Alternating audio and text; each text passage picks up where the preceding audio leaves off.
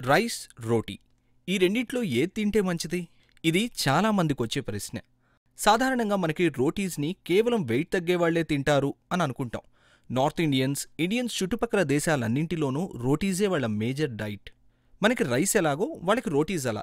సరే ఇప్పుడు మనం రైస్ తింటే ఏం జరుగుతుందో చూద్దాం.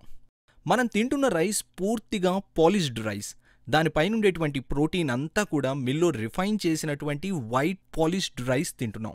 ఇది పూర్తిగా రిచ్ ఆఫ్ కార్బోహైడ్రేట్స్. ఎంత మాత్రం మంచిది కాదు. ప్రోటీన్ అస్సలు లేనే లేదు. పూర్తిగా ఫ్యాట్ని పెంచేస్తుంది. త్వరగా డైజెస్ట్ అయిపోవడం బ్లడ్లో కలిసిపోవడం తర్వాత బాడీలో షుగర్ లెవెల్స్ విపరీతంగా పెంచేస్తుంది. అందుకే మనం రైస్ తిన్న వెంటనే నిద్రపోవాలి అని అనిపిస్తుంది. మత్తుగా అనిపిస్తుంది బాడీకి. డయాబెటిక్స్కి అయితే అస్సలు మంచిది కానే కాదు. మామూలు వాళ్ళు తిన్న బాడీ సిస్టమ్ అంతా స్పాయిల్ చేసి త్వరగా డయాబెటీస్ వచ్చే ఛాన్సెస్ చాలా ఎక్కువగా ఉంటుంది బాడీకి. ఈ షుగర్ లెవెల్స్ ఇలా పెరిగిపోవడం వల్ల బీపీ పేషెంట్స్ కూడా అస్సలు మంచిది కాదు.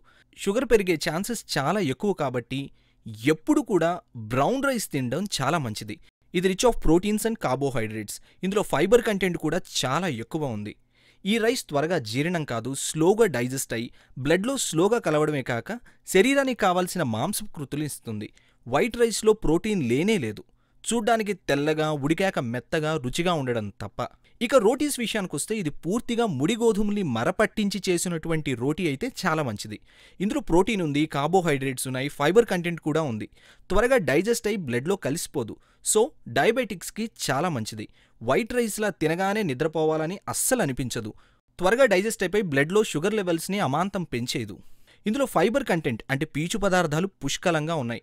ఈ రోటీని మీరు ఆయిల్ కానీ నెయ్యి కానీ వేసి కాల్సినంత వరకు ఇందులో పెద్దగా ఫ్యాట్ కంటెంట్ ఉండదు. మళ్ళీ మీరు మార్కెట్లో తెచ్చుకునేటువంటి గోధుమ పిండిలో కానీ రోటీస్లో కానీ మైదా కలిసే అవకాశం ఉంది. చూసుకొని వాడండి. సన్నబడాలి అని అనుకునేవాళ్ళు వైట్ రైస్ పూర్తిగా మానేసి రోటీస్ తినండి. అది కూడా జస్ట్ రెండు రోటీలు పప్పుతో తినండి. ఇక రోటీ బ్రౌన్ రైస్. వీటిలో ఏది మంచిది అంటే definitely brown rice.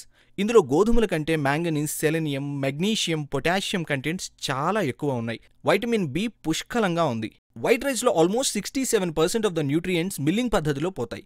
So brown rice is always healthy. ఇంకో విషయం ఏంటంటే బ్రౌన్ రైస్ చక్కగా నమిలి మాత్రమే తినగలం. సో టమ్మీకి డైజెస్ట్ చేయడానికి పెద్దగా శ్రమ ఉండదు. గ్యాస్ అస్సలు ఫామ్ అవ్వదు. డయాబెటిక్స్ బీపీ ఉన్నవాళ్ళు హెల్తీగా ఉండాలనుకునే వాళ్ళకి వైట్ రైస్ని మ్యాక్సిమం రెడ్యూస్ చేసి తింటే రోటీ పుల్కా చపాతీ లేదంటే బ్రౌన్ రైస్ తినడం ఎప్పుడూ మంచిది.